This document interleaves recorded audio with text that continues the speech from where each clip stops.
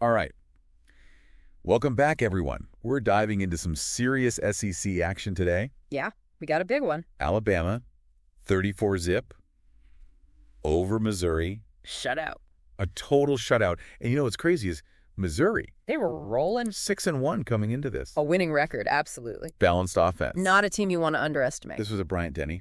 Tough place to play. So we dove into a bunch of sources, Yeah. you know, trying to get the uh, the real story here. All the different angles. And I think it's safe to say everyone was kind of expecting, you know, a closer game, Yeah, I mean, on paper, right? this looked like it could be a real battle. But what we saw, I think it was it was more than a win for Alabama. It was a statement, Totally. They sent a message to the whole SEC. loud and clear. Look, Alabama's offense was on fire.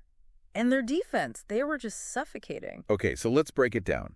Offensively, Jalen Milroe, solid game. What what impressed you about his play? He was efficient, he was smart, no turnovers. You know, some quarterbacks, they try to do too much. But Milroe, he just played within the system, made the right reads. And, you know, I think that one play, uh, third down, he's scrambling, avoids the sack, and throws a dime for the first down. Oh yeah, I saw that one. That's Alabama football right there. Textbook, Controlled aggression. love it.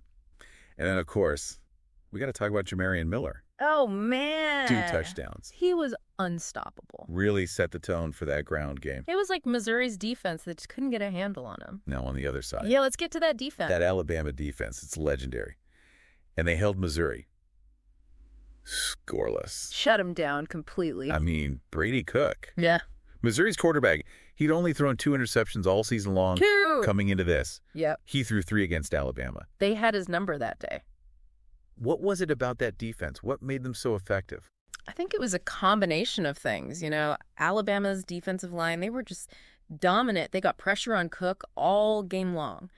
And then, you know, the secondary, they were playing tight coverage, disguised coverages, blitz packages. They were throwing everything at Missouri. They just hmm. kept them guessing. They couldn't get anything going. Yeah, and it wasn't just the passing game. They shut down the run too. Nate Noel.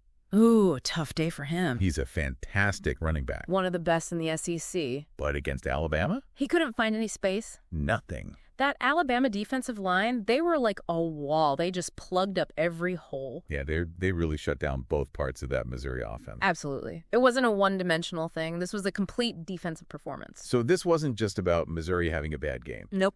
Alabama took control. They dictated the pace of the game on both Mhm. sides of the ball. And that's, I think, what was so impressive. Yeah, you know, they came in, they had a game plan, executed it perfectly. Like a well oiled machine. So what does this loss mean for Missouri moving forward? Well, you know, they're a good team, they've got a lot of talent.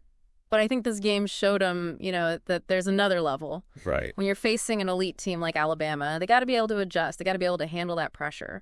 And they just weren't able to do that in this game. All right, so after looking at all this, this dominant win by Alabama, what does it mean for their chances in the SEC? Are they back in the championship conversation?